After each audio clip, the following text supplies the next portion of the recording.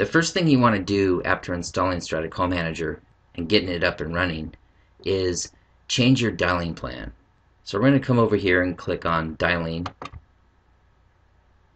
The home area code is going to be changed to 000 because the cloud doesn't have a home area code.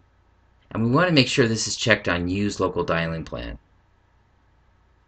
Your trunk access code is going to be 9. Change plan. Again, local area code 000. We're going to leave this default. We're going to click on dial area code on all local calls. We're going to leave this checked as add 1. Leave this default as none. Leave this default for long distance calls, add 1. And we're going to save. We're going to save this. And that's it. Now, when you dial out, all you have to do is put a 10 digit number in here without the 1 and it'll dial and it'll automatically add the 1.